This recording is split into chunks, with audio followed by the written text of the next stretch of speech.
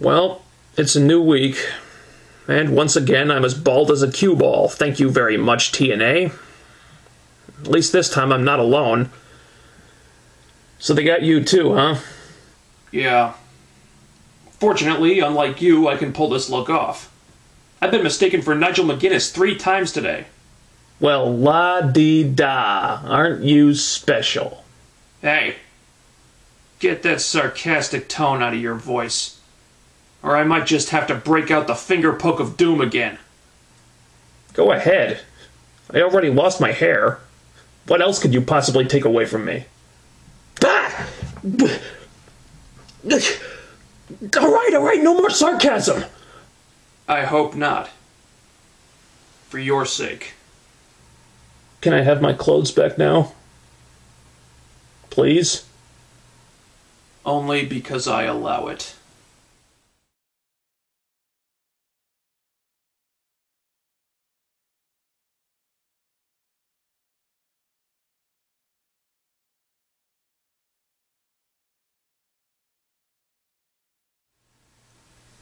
All right, real quick. Before I talk about the show, I just want to send some well wishes out to Matt Hardy. I'm not his biggest fan, and I never will be. In fact, I've had some less than flattering things to say about him recently, but I'm not a heartless bastard. And I was very glad to hear that Matt decided to go to rehab and straighten himself out, because I didn't want to see Matt become a wrestling tragedy, and it seemed like he was heading down that road for a while. So it's great to know that Matt is gonna get the help he needs. So let's hope that happens. Anyway, Impact. I liked this show for the most part, even though there were only four matches. Jesse Sorensen got his X Division title shot against Austin Aries. The match was pretty decent for a few minutes, but then the obligatory overbooking started. Kid Kash came out and distracted Sorensen with that football that he comes out with for some reason, and then Aries gets the win with a cheap roll up. Oh shit! What the hell is this all about? This started out good, but it ended up exemplifying so many of the things I hate about Russo's booking. A championship title match where the focus is on everything except the fact that the title is on the line. Why did Kash have to be involved that much when they could have kept his part to a minimum and gotten the same effect?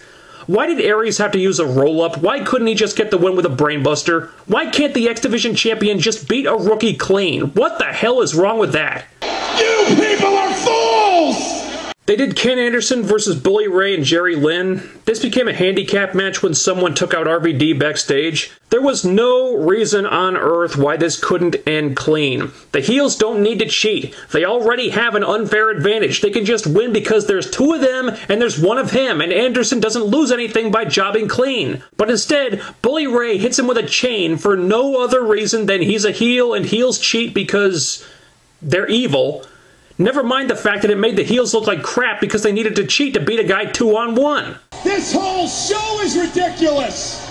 I am so sick of these contrived, overbooked bullshit finishes. So many matches are ruined by these damn things. Why can't a match just end clean, for God's sake?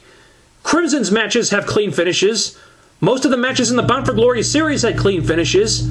I hoped that was going to be the start of a change in this stupid booking. I guess that was asking for too much. Mickie James beat Tessmacher clean, and Tessmacher didn't lose anything. In fact, I'd say both women ended up looking better because this match had a clean finish. The match is back and forth, both women get their offense in, Mickie wins clean, but does Tessmacher look worse for having lost the match? No. It's Mickie James, one of the most decorated women in wrestling. She should be hard to beat. Just like Austin Aries should be hard to beat because he's Austin freaking Aries. Just like Bully Ray and Jerry Lynn should be hard to beat because there's two of them versus one guy. There's no reason why these people shouldn't be able to win clean. Winning matches clean is a good thing, goddammit. Aside from that, I enjoyed pretty much everything else. Mickie versus Tessmacher was pretty short, but it was fairly decent for the most part. And I hate to say it, but Tessmacher is starting to grow on me.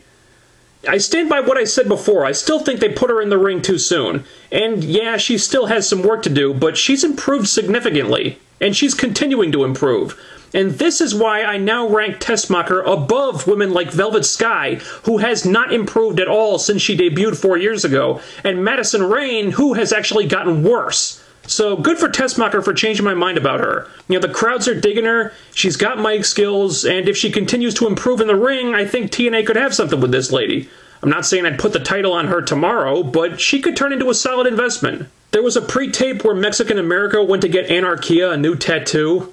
I have no idea why the cameras would follow any wrestlers on the roster, much less these two ass clowns, to a tattoo parlor, but whatever. This started out pretty dumb, but then Ink Inc made their return and beat the shit out of them. And I won't lie, I enjoyed that. The tag team division is in bad shape right now, so having Ink Inc. back is a good thing. At least that gives them a little diversity. Also, something interesting happened here. Did you see that girl who elbowed Anarquia in the face when he tried to use her as a human shield?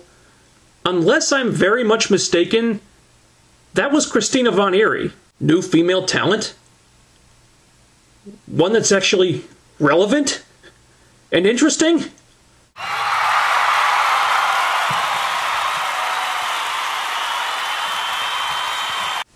Why they waited so long to debut her.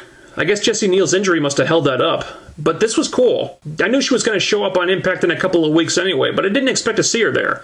Now, I assume she's going to be the equalizer to take care of Sarita and Rosita, so some challengers can actually get a tag title shot free of interference for a change. And if that's where they're going with this, then thank God. Let's do it. AJ and Daniels had a promo where Daniels finally turned heel officially. I have no idea how Daniels got out of facing Bobby Roode in a match. I mean, he basically just said, no, I don't want to. And that was it. Nobody questioned this. Immortal didn't care. They didn't force him to go through with the match. Why? I don't know. Never explained. This whole show violates everything about my journalistic integrity. Once you get past that, though, the stuff with him and AJ was really good. My feelings about this feud are still the same. I still think it's become redundant and it's preventing Daniel's character from evolving. But I actually liked how this played out because, for once, the writers actually paid attention to the details. Daniels has always had an inferiority complex. I mean, AJ said that every time he gets a little power and starts to think that he's a somebody, it goes to his head and the heelish side of him comes out. And that makes sense. That's just the way his character has developed over the years. It's totally organic that he would risk destroying his friendship with AJ to finally get that monkey off his back. So, unlike the Kurt Angle swerve, this is a heel turn that makes sense because, put in this situation, that's just something that everyone knows Daniels would do. In other words, this heel turn was earned for the same reasons that the Kurt Angle heel turn was not. The best part of this show was the stuff with Kurt Angle, Bobby Roode, and James Storm. The promo segment was solid. They're doing a great job with Bobby Roode, making him look like he's on the same level as Kurt Angle. The only issue was that James Storm totally outshined him on the mic here. And I am happy that Bobby Roode is getting this push, but damn it, James Storm deserves it just as much. Storm has more charisma than just about anyone in the company, and his mic skills are extremely underrated. Now, you can argue that Roode is better in the ring and has a better look, and that might be true, but Storm has all the tools, and I'm thrilled that he's not fallen by the wayside while Roode gets pushed to the top, because there is no reason why Storm can't be a breakout single star, too. And not only was his promo great, but he had a great match with Kurt Angle in the main event, and they actually gave it some time for once. This was one of the best main events on Impact this year, and the interference didn't even bug me that much because they actually let this go for like 10 plus minutes before Gunner showed up. And while I didn't like the non finish, I thought Angle needed to look stronger than that. I love the stare down at the end with Bobby Roode holding up the world title. You really do get the sense that TNA is finally serious about pushing a homegrown guy to the top, and that is very, very refreshing. So, for the most part, this episode was pretty good. The overbooking and Russo finishes piss me the hell off, but there does seem to be a sense of we need to get serious about hype and Bound for Glory, and that was prevalent this week. Kurt Angle, Bobby Roode is starting to feel like a big match.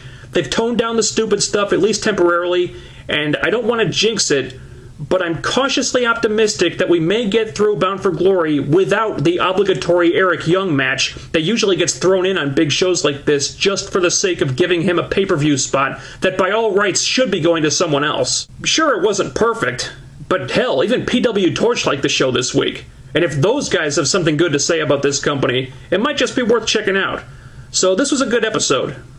It's just a shame that they don't put this kind of effort into hyping their pay per views every month.